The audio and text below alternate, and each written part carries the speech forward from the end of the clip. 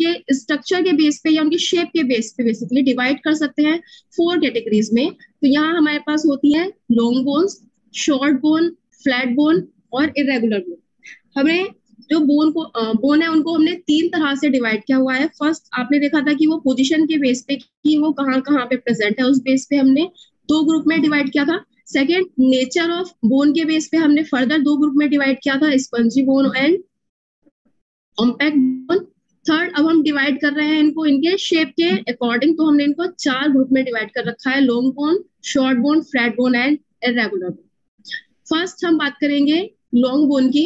Long bone क्या है कि ये लॉन्ग बोन हमारी जो फीमर एक तो आपको पता ही होगा कि सबसे लॉन्गेस्ट बोन है हमारी बॉडी की। जो हमारे आर्म्स होते हैं और लेग में ये बोन प्रेजेंट होती है। बेसिकली इनका रोल क्या है? ये हमें मूवमेंट में हेल्प करती है लॉन्ग बोन्स और जो बोन मैरो है वो बेसिकली लॉन्ग बोन्स में ही प्रेजेंट होता है।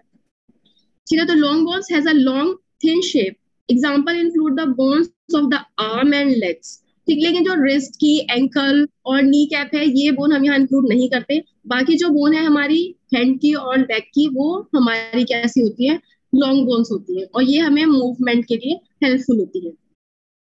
सेकेंड बेस की हमारी सेकेंड uh, टाइप की जो हमारी बोन है वो है हमारे पास शॉर्ट बोन ये क्यूब लाइक बोन्स है और यहाँ पे आपको ये रेड कलर से जो भी बोन्स आपको डिनोट हो रखी है, कार्पल की बोन, पटेला एंड टार्सस की जो बोन है, ये सारी हमारी शॉर्ट बोन्स होती है, ठीक।